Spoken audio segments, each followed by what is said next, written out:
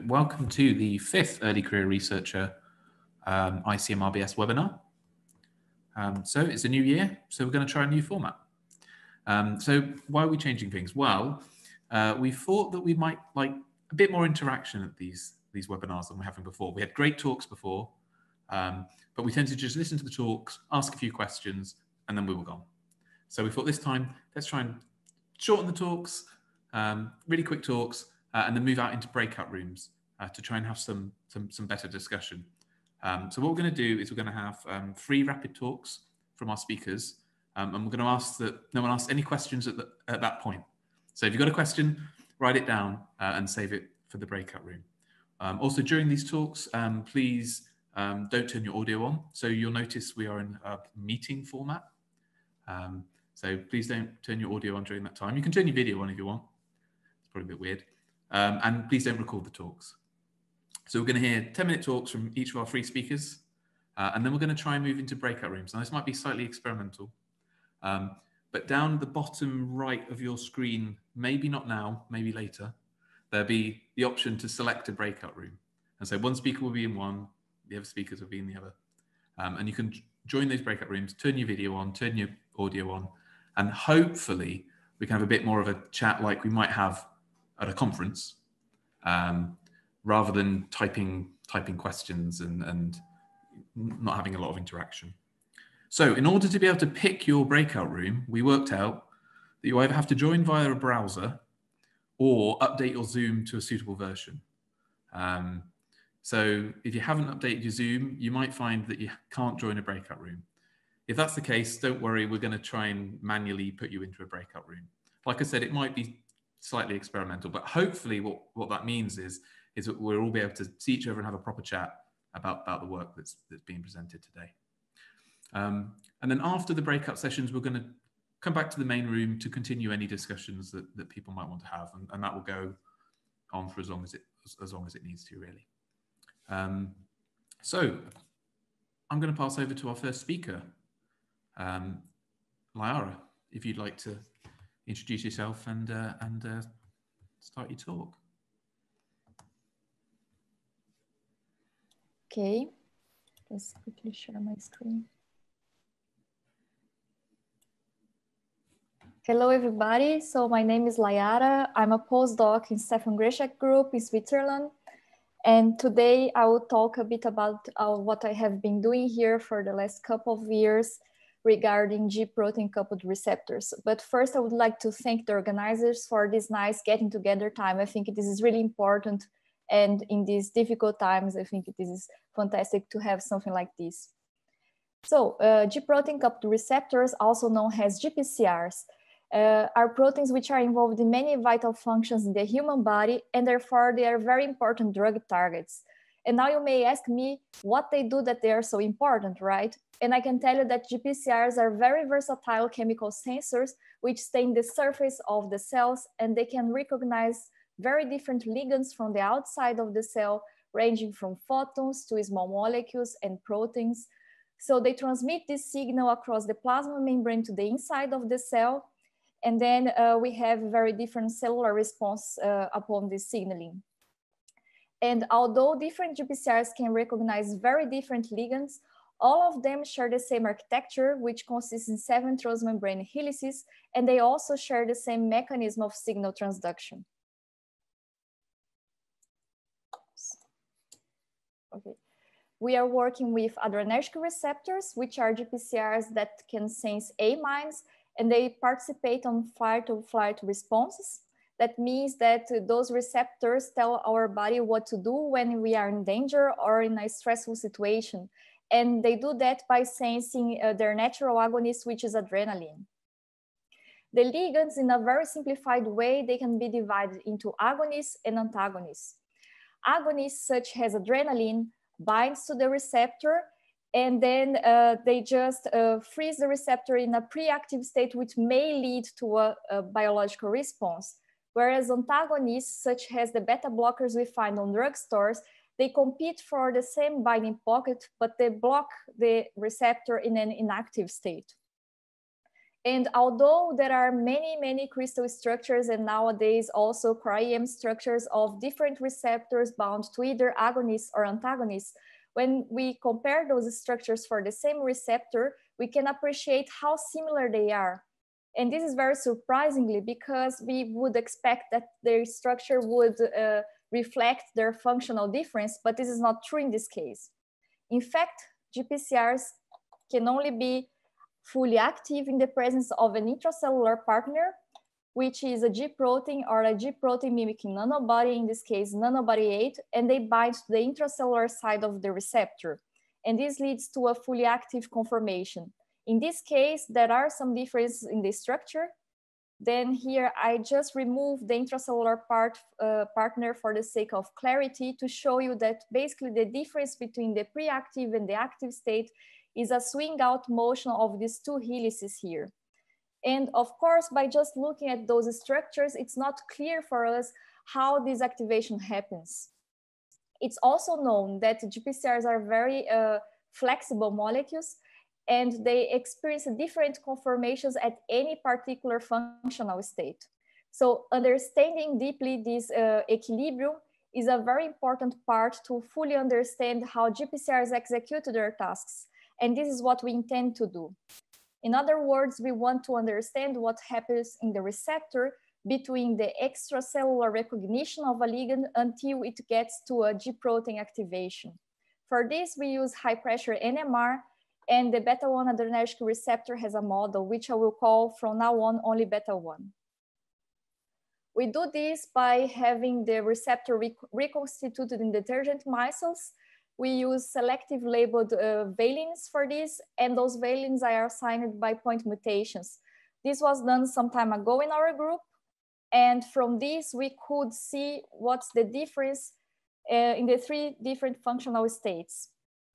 Uh, very briefly, just a quick reminder, we have the receptor with an agonist, and this is the pre-active state. We add the nanobody 8, this goes to a ternary complex which is fully active, and by adding on top of it an antagonist, which has higher affinity, this ternary complex is dissolved, and we have the receptor blocked in an inactive state. Comparing the TROSY spectra for pre-active and inactive state, we can see how similar they are. And in fact, we only see an important difference when we go for the ternary complex, which is fully active. Those differences are mainly around the ligand binding pocket, as I show here with these um, magenta arrows. And this shows the allosteric coupling between the two sides of the receptor because we bind the nanobody 8 in the intracellular side, and this is reflected by chemical shift difference in the extracellular side. Another thing uh, that's interesting to see is that in the pre-active state, we see some valines which present two peaks. And this means we have an equilibrium between two conformations which are in slow exchange. And this we don't see neither in the active or the inactive state. So now we know how the spectrum looks like in these three different functional states. And the next step is to perturb this system in order to get more information about this equilibrium. We do this by applying pressure. And it's known that every time you apply pressure to a system, the equilibrium shifts towards the, to the state which has the smallest molar volume. And the volume difference between the two states can be calculated by the relationship between the population ratio or the Gibbs free energy difference between these two states and the applied pressure at a constant temperature. Just to illustrate how this works, we have a zircon tube where we place our sample. This is filled to the top with paraffin oil. This is connected to a pressure line, which goes from the magnet until this pressure builder here. Everything is filled with this paraffin so that when we turn the wheel, we can increase the hydrostatic pressure. Our first experiment was to compare the spectrum at one bar in black and 2500 bar in red. This is the inactive state, and we see that uh, most of the chains are following the same direction, which I point here with cyan arrows. And this is moving uh, downfield, both for protons and nitrogen 15, meaning that the hydrogen bonds are getting compressed or shorter. This is what we expect for any protein we put under pressure, actually. And uh, we see the same for the active state, although we have less assignments in this case for all of those we could follow, we see the same normal compression. On the other hand, in the pre-active state where we have the agonist, we see big shifts and they go in the opposite direction, uh, showing that the hydrogen bonds are getting stretched and also that we have a, a backbone distortion. And we map where are these big chains and we see that they are around the ligand binding pocket, meaning that here it's more compressible than in the inactive or the active state. By comparing with the inactive state, we can uh, think that this is because the antagonist has a larger uh, head group which fulfills better this binding pocket. And therefore, this is also reflected in the fact that the antagonists have a higher affinity than the agonists. On the other side, uh, it's not so straightforward to rationalize what happens to the active state because the ligand in this case is exactly the same. So uh, to better understand what's happening, we just compare here the pre-active state in black and the active state in orange at one bar and 2500 bar. And the difference at one bar actually reflects the intrinsic difference between the two populations. What's nice to see here is actually that the second peak I told you about in the pre-active state is actually the fully active state, which is less populated here. But what's astonishing is to compare both at 2500 bar. And here we see that both spectrum are basically the same. They're almost identical meaning that the receptor in the pre-active state can go to the fully active state by only applying pressure, even without any intracellular partner. And this is the first time someone showed that GPCRs can be activated without a G protein or a G protein mimicking nanobody. So that's pretty cool. And this also means that this activation mechanism is quite robust and the protein kinds of know what to do even without the intracellular partner. Now we know that the receptor can be activated by pressure and we were asking ourselves how much the receptor needs to shrink in order to be activated. And to learn more about this, we performed a pressure titration from one bar to 2500 bar. And here you can appreciate how the spectrum gradually changes and also the proportion between the two peaks of the two different populations also changing but this becomes much more clearer if I just zoom in in the region of one of those resonance. Here is valine 202, which sits only in the top of the ligand. And here uh, we show the proportion of the two populations, reactive and active. And this we can easily calculate by the difference in the intensity of this resonance. And here you easily see that the active state is getting more populated under higher pressures. And from this population ratio, we can derive the Gibbs free energy difference between these two states at any pressure point. This is what we did. And by plotting the delta G by the pressure points we have, you see this nice linear fit here. And from the slope of this curve, we get the delta V, which is around minus 96 cubic angstrom, meaning the fully active state is around 100 cubic angstrom smaller than the pre-active state, which is quite a lot. And the question that follows from this is where is the volume lost, right? And we can imagine a first uh, situation where we have a state A, which is a protein that has an empty cavity, completely empty. We apply pressure to it and it goes to a state B, which indeed has a smaller volume. But we can also think about a second situation where you have a state C, which instead have a water-filled pocket uh, and you apply pressure to it and these waters are just uh, squeezed out. But in this case, in the state D, we don't have a net volume reduction. On contrary, actually it even gets a bit bigger because the water volume in bulk is slightly larger than inside the protein. Uh, so in this case, we can't change this equilibrium by only applying pressure.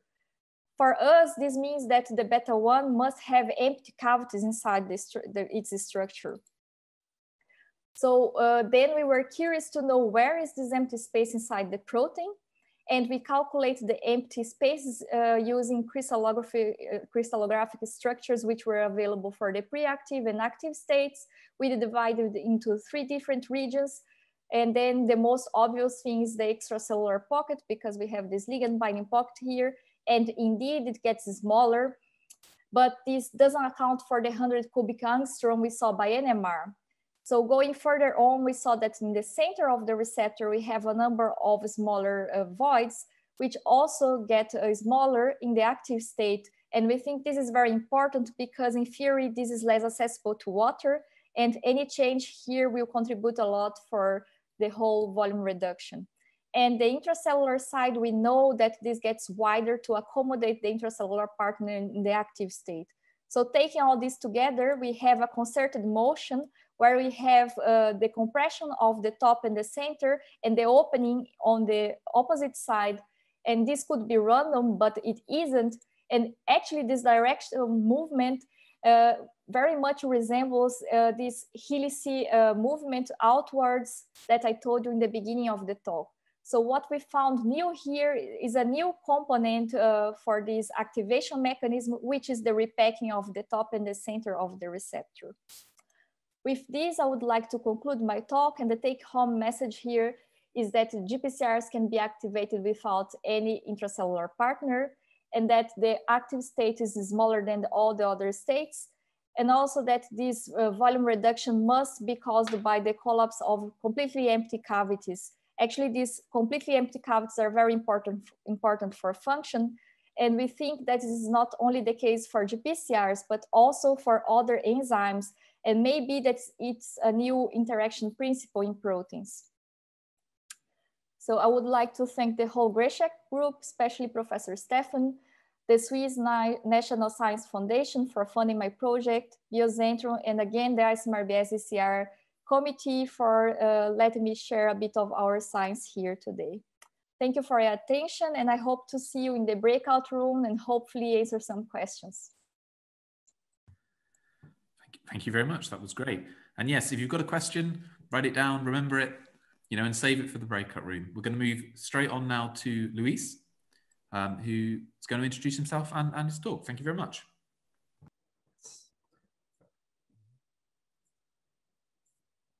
So can you see it? That's right. Yep. Yeah, thanks, Nick. Uh, so thank you very much. Uh, thank you for ECR for the invitation. It's such a pleasure to be back in the NMR community to discuss with you guys. I've been out for a while. So I'm a postdoctoral fellow here in Brazil, uh, in the University of Sao Paulo over the last two years. And I'm going to talk about some of the stuffs that we've been doing with this family of protein called GRASPs and how they manage their conformational flexibility to handle this promiscuous interactome that we can observe in vivo. So GRASPs are named as Golgi reassembly and stacking proteins. It's a very suggestive name because GRASPs, the first functionality associated to GRASP was grasping opposite membranes and uh, building these Golgi stacks in the mammalian cells. So GRASP is one of the main components of the Golgi matrix. So responsible for keeping the Golgi structuration and also all its dynamics during conventional cell cycle. And because it's so important for the Golgi structuration, is important for secondary functionalities that requires the Golgi, like the conventional exocytic pathway, especially correct protein glycosylation. But is also directly involved in, in other processes, including Golgi disassembly and reassembly mitosis, Golgi fragmentation apoptosis, and also more recently, this unusual participation in unconventional protein secretion, where under cell stress, these GRASPs are turned off from the Golgi complex and go to other cell compartments to perform additional functionalities, especially in this transport of proteins that do not require the conventional exocytic. So GRASP basically regulate protein trafficking either via modulating Golgi stack structure and vesicle budding, but also through direct interaction with specific molecules, and this is where lies my, uh, my presentation. GRASPs can uh, recruit and can attach several different proteins during its functionalities, not only in the UPS, the conventional protein secretion, but also in the normal Golgi maintenance, in recruiting Golgins, recruiting, recruit, recruiting sorting receptors, and also all kinds of enzymes that facilitate post-translation modifications in the Golgi. Uh, basically, its structure is divided into main regions, uh, N terminus half, that we call the GRASP domain. It's highly conserved. It's myristoylated in the N-terminus, and it's formed by two PDZ domains connected in tandem. And there's also this C-terminal region that's a huge one. It's fully disordered, rich in serine and proline residues.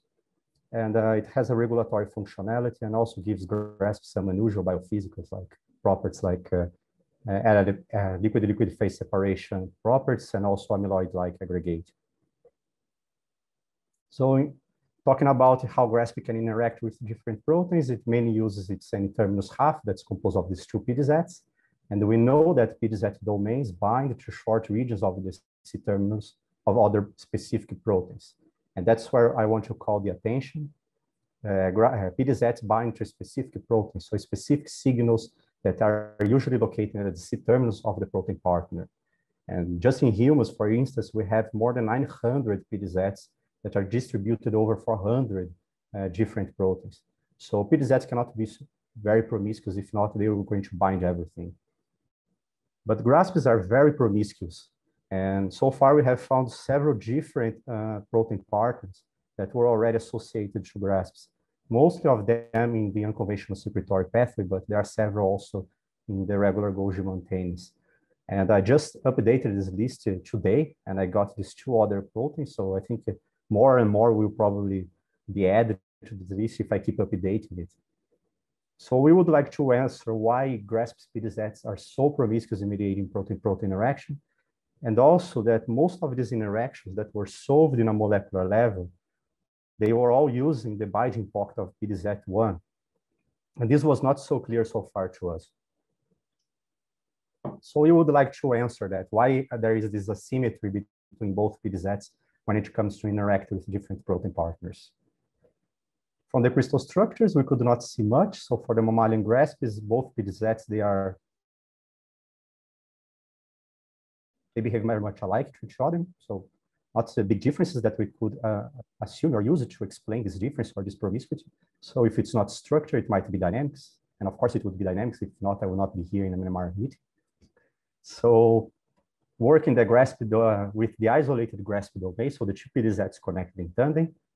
What we know for most of the systems that we have studied so far is that they behave as molten-globule-like proteins. So what does that mean? So it means that they are collapsed proteins, but they have a great number of hydrophobic sites that are water exposed. So it gives, the, it gives them this high ANS affinity. That's a characteristic, a hallmark of molten globules. They have considerable amount of ordered secondary structures, well, what is clear from the crystal structure, but also solution. But the tertiary contacts that keep this structure together they are not really strong. So they go through this low cooperativity in the unfolding transition. And it's not only in the, with the urea, so a chaotropic agent, but also the temperature. They have multiple sites of disorder, so a very limited proteolysis. And they give this very uh, unique fingerprinting in the NMR-HSQC. So most of the lines are too broad to be detected, so beyond our limit of detection, especially because molten globes have this conformation and fluctuation that's in this characteristic time scale of microsecond to millisecond. So we cannot just, we can just not see them. So for this model grasp that we are using here, we can observe more or less 10% of the total expected resonance lines. So to get information of this massive spectra, what we did, we first performed the assignment of the fully unfolded uh, grasp, uh, grasp structure, so nine molar urea, we got a pretty good assignment. And then we transferred the assignment all the way from the nine molar to the zero molar condition by spectral superposition. So how we did that, we first standardized our titration experiment. We went from zero to nine molar in a one molar steps. And by spectral superposition, we just assigned for all these 10 uh, conditions, what would be the HN resonances. And to get informations from that, actually stability information, what we did, so besides uh, these peaks that we could see here in the zero molar conditions that were probably from very disordered region because of this narrow photon dispersion, all the other ones were in what we considered to be the folded state. So if we start to see a peak during our titration, so for instance, in the three molar urea, we assumed that that was the urea concentration necessary to unfold that particular region. So by taking no note of what would be the urea concentration necessary for each residue that we could assign and we could track, we end up with this graph. So it's where we start to see the first differences between both PDZs. So we can clearly see that in PDZ1, we have this huge area here that comprehends more than 60% of the PDZ1 that is highly flexible. So the resonance lines, most of them were already in the zero molar condition, but also of very low stability. So we could also we could already, we could already see them in the one molar urea concentration. And the second part of the PDZ that's located in the end, this is important to see how it is behaving in the beginning and in the end. We have in the end a more, uh, let's say, stable structure and it's probably more well behaved, while in PDZ2 is much more stable and really behaves as a well-folded, well-structured protein. And what is interesting is that this NMR data that we got, this uh, stability and dynamic data, correlates pretty well with the, the B factors that we can observe from the crystal, the crystal structures. So it's a kind of a notion of flexibility that we can get from the, the crystallography. So it seems that the PDZ1 is indeed not only more stable, but also more flexible how can we get more information from this? So by remembering that the PDZs uh, for, the, for the protein to interact with the PDZ, the partner C-terminus region binds to the PDZ domain by beta sheet augmentation. And this is basically involving the beta 2 strand that is uh, in purple here. Um, what controls the access of the binding pocket and also perform additional interaction is the alpha 2 helix. And in GRASPs, we have a very unusual uh, PDZ fold that comes from the crystallography. So in GRASPs, we have the beta 1 and beta 2 strand that are usually at the beginning for eukaryotic PDZs, but in GRASPs, they are located at the end of the protein sequence. So basically what we have in the binding pocket of PDZ1 is a stable beta 2 strand, but an unstable and apparently much more flexible alpha helix 2. So what controls the access to the binding pocket much more promiscuous. So that's why we believe that it makes PDZ1 more promiscuous in mediating these interactions. But still, uh, if PDZ1 was too, would be too, uh, too promiscuous, the affinity would not, would not be higher for sure. So PDZ2 might assist this interaction somehow. And from some crystal structures that now we have available, we've observed this uh, specific pattern where we could see this change of the orientation uh, from the PDZ2 towards PDZ1 that's kind of driven by the interaction with the protein partner. It's actually some secondary interactions that the protein partner can do with the PDZ2. So to explore this conformational flexibility in more details, we performed ABF and molecular dynamic simulations to sample this conformational free energy profile of the GRASP domain basically by monitoring how uh, the PDZ1 and PDZ2 can move towards each other, how would be this conformational flexibility. And for the apo form, we have this data. So we can see that the available area for the apo grasp, so the apo form, to move or to have these dynamics is kind of big at 37 Celsius degrees. So it allows a, a larger movements between PDZ1 and PDZ2. But when we take into account the presence of the, the protein partner, this, uh, this conformation is strongly collapsed. So it really locks grasping one particular conformation. And this is curious because more and more crystal structures start to show up in the literature with different protein partners. And it was clear from these structures that the protein partner performs different interactions with PDZ2 if we compare with one another. And all of them have different orientation between PDZ1 and 2. But what is interesting is that all these different conformations, they could be mapped in our uh, ABF simulation as available conformations, at least free energy available conformations. So they were already present in the apo form at 37, 37 Celsius degrees. So basically it means that Grasp's PDZs are structurally organized to provide a smoother energy landscape that allow the domain orientation to be flipped after the ligand binding. So that's how we believe GRASP can uh, kind of use the, or can achieve its promiscuous interactome. So first uh, would be an interaction with the PDZ1 binding pocket, which is more promiscuous, so it's more, um, more easily accept a different protein partner. And also by this conformational flexibility at, at room temperature allows this GRASP domain to, to do large movements. So make these different conformations accessible for different protein partners. So allow these protein partners to perform uh, interactions that are protein partner specific. So it's a coupled mechanism. So I would like to thank my boss, so Antonio Costa here from the University of São Paulo. uh, Dr. Mariana Bonoro, who performed all the molecular dynamic simulations, my, my collaborators, especially people from Oxford who received me during my PhD, the people who paid me, and all of you for watching. Thank you very much. Thank you very much. So yes, if you've got a question, save it for the breakout rooms. They're coming soon.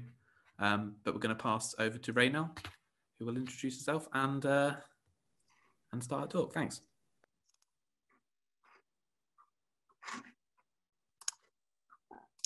Hello. Uh, can can everybody hear me?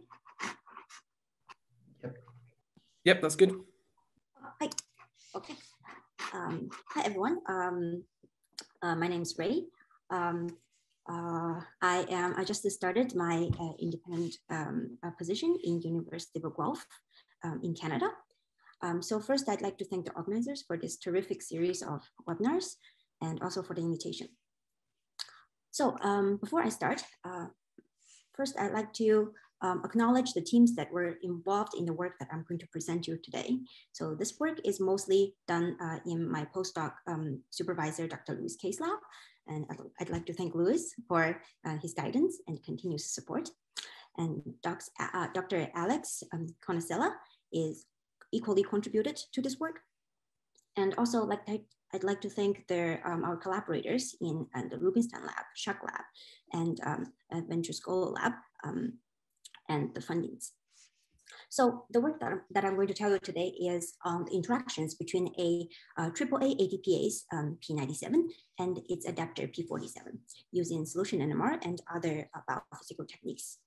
So P97 is a highly conserved and versatile ATPase, which participates in a variety of cellular functions, including ERAD and autophagy and uh, membrane remodeling. So to recruit P97 to these various functions, um, more than 30 adapter proteins um, interacts with P P97. One of them is uh, P47, which navigates P97 to mediate the assembling of Golgi apparatus. So during mitosis, the Golgi apparatus would disassemble into the mem membrane fragments to partition into the daughter cells. Well, after cell division, these fragments uh, will reassemble back to Golgi membrane with the assistance of the uh, P97, P47 complex. So the membrane fusion machinery actually involves another um, deubiquitinating enzyme and a SNARE protein as a substrate. And so far, uh, there's no structure of this complex. So our work here is um, kind of like the initial steps towards getting a, a structural understanding of, of this complex, um, which is to characterize the interaction between P97 and the full length P47. So P97 is um, homohexamer, um, as you can see here, with each of these subunits um, consisting of a N-terminal domain um, and two ATPase domains. And so these two domains uh, forms two stacked rings, D1 ring and D2 ring. And the NTD, um, which interacts with most of the um, adapter proteins, can adopt two conformations uh, depending on the nucleotide state of D1. So it's either it can be an up conformation uh, when it's bound with ATP, um, or it can be a down conformation uh, when the D1 is loaded with ADP. The adapter uh, of interest here, uh, the P47, is a 41 kilodalton protein consisting of three distinct domains um, connected by intrinsically disordered linkers. The UBA domain uh, interacts, binds, and uh, recruits ubiquitinated substrates uh, to the complex. And um, the UBX um, interacts with the NTD of P97 the biological function of the middle septal domain is not yet known. Um, and there is also a, a linear uh, motif ship, which also interacts with the P97, uh, the N-terminal domain. So, so far, um, the structural studies between these two proteins are mostly uh, based on fragments. So the, also the function of this long stretched of linkers um, are not known. And the stoichiometry of the binding um, is also not characterized well. And we also don't know whether there's any difference um, in the interaction between these two proteins between different uh, nucleotide states um, of P97. So these are the kind of questions that we try to address with our study here. So it has been long believed in the literature that the full length P47 forms a nanomolar affinity trimer. So when we um, started to work on the full length P47, it kind of surprised us that this supposedly uh, 120 kilodalton trimer um, gave such a beautiful a backbone HSQC spectrum, uh, for which we can obtain 90% of the backbone and NH assignment, as well as most of the um, resolved methyl groups. In addition, uh, we also um, fail to detect any intermolecular NOEs uh, between the methyl groups um, in P47. And also we don't observe any um, concentration dependent chemical shift perturbations over a large concentration range. So to really convince ourselves the oligomerization state of P47, we did um, dynamic light scattering where we compared um, the diffusion coefficient of the P47 with a monomeric construct. We also did a pull down assay um, uh, with uh, and tagless P47 um, and failed to see any pull down.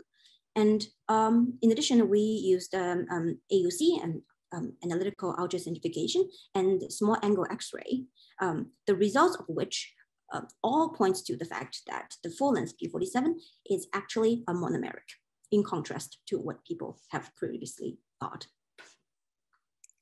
So when we were investigating P47 by itself, we also found that this uh, intrinsic disordered linker actually contained a con conserved motif, which we call SIM, that interacts with the middle subdomain we can see chemical shift perturbations, um, both on the linker and on the subdomain when we titrated these two pieces together. And we identified the binding interface on the subdomain. So, and we, we also observed NOEs uh, between uh, methyl groups from these two parts. So due to this um, intramolecular interaction, the structure of the P47 is actually more compact than what we previously thought. Now, to study the interaction between P47 and P97, we used the shorter construct of P97, uh, which contains um, the, only the NTD and D1 um, to get um, to improve our spectral quality. We confirmed with chemical shift perturbations and ITC that this shorter construct um, is actually sufficient and serves as a good model to study the complex formation between these two proteins. So as previously reported, P47 interacts with P97 um, with its ship motif and the UBX domain, um, both bind, binding to the NTD of P97. Interestingly, we discovered that these two actually are not the only binding site. There is an additional binding site on P47, which can uh, also bind to P97. So we identified site um, from chemical shift perturbations and also uh, differential line broadening here. Um, the location of the site is actually um, on also on the flexible linker uh, between UBA and the subdomain. It's marked in green box here. And it turns out that the sequence of this new site um, is actually homologous to uh, the previously identified ship motif. So we call this new site um, and the previous uh, ship, ship C. And we also confirmed um, with chemical shift perturbations that this new site, the ship N site, also binds to the same spot or the same surface um, on the NTD of P97 as um, other ship motifs. So in fact, um, the P47 can interact with P97 with a maximum of three binding sites. The two ship sites uh, motifs and uh, the UBX domain. Because P47 um, was previously thought to be a trimer, so um, the binding stoichiometry of the, um, the interactions were proposed to be a one P47 trimer uh, to one P97 hexamer. But now that we know that P47 actually exists um, as monomers in solution, um, then what is really um, the stoichiometry of the binding? uh, we can observe by NMR titration that actually one P97 hexamer can bind to up to six P47 molecules. And we can also use uh, cryo-EM uh, conducted in the Rubinstein lab. If we focus on the density of UBX domain of P47, we actually can see all 14 unique configurations of the complex of P47, um, P97, P47, which would, would be one would, which would be something that uh, one would expect for a monomer to bind to a hexamer. So we've established that there are at most three uh, binding sites on P47, um, the UBX domain and two uh, ship motifs. The UBX and ship C are, are not mutually exclusive. Uh, they can bind um, to NTD at the same time, um, the same entity. Uh, but the two ship motifs, um, they uh, bind to the same spot on the NTD. So they cannot, uh, they are, um, they cannot bind to the same entity um, at the same time, right? So describe, to describe the binding, uh, we came up with a model um, in which um, a P47 molecule can either interact with the P97 in a tripartite manner, where the UBX and the ship C bind to the same entity, and while the ship N binds to one of the neighboring entities. Or it can interact in a bipartite manner, uh, where only ship C and UBX binds without ship N binding due to, um, in the case where uh, the neighboring entities are not available for the binding. So we can describe these two binding modes with um, these two um, uh, KDs um, um, respectively. And if we, under this premise, for a hexameric P40, uh, P97 with varied number of bound P47s, there are in total a of 76 unique configurations um, uh, describing that. And here there are a few of the uh, examples shown here. And each of the populations of this configuration can be described by these two uh, binding affinities. So using this model, we can actually fit our ITC data and NMR titration data and get consistent KD values to describe these two um, binding modes. Um, where um, for the bipartite binding is around 0.5 micromolar and um, it's a 0.15 or 1.4 micromolar binding for the tripartite binding mode. Now, since P P97 actually undergoes large conformational change depending on the nucleotide state.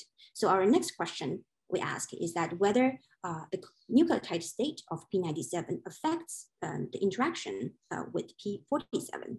So we first did ITC experiments, titrating wild type P47 into a P97 uh, in different nucleotide states, an APO state and AD, ADP state. And we can clearly see that there is a, a, a drastic difference in binding enthalpy and uh, the apparent binding stoichiometry here between these two states. Now, using different construct, um, we were able to identify um, that this difference actually comes from whether or not uh, ship N motif can bind. So we find that the ship N motif um, only binds to APO P97, but not to P97 in the ADP state here. So in other words, the tripartite binding only happens um, uh, in the APO state, but um, in the ADP state, um, there is only bipartite. We also recorded um, the backbone spectra of P47 in complex with P97, um, with P47 either in the wild type or uh, with a mutation in the ship N motif. From the differential line broadening between the two nucleotide states here, we can see that, also see that uh, the binding of ship N is uh, dependent on the nucleotide state of P97. So to summarize our findings, uh, we have characterized um, the oligomerization state of P47 using a few techniques and found that um, it's monomeric in contrast to what people have believed. And we also identified a intramolecular interaction between the linker um, and the SEP domain, which may restrict the conformational space of P47 um, when it interacts with substrates. Uh, we also identified a new binding motif in P47, uh, the ship N motif. Um, and this, this motif actually interacts with P, P97 in a nucleotide dependent uh, manner. So future work is still needed um, to figure out whether exactly what structurally um, lead to uh, these two different binding modes in different nucleotide state and uh, what is actually uh, the physiological role of switching between um, the two binding modes um, when P97 is uh, going through the nuclear uh, nucleotide hydrolysis cycle. And uh, with that, I'd like to thank you for your attention.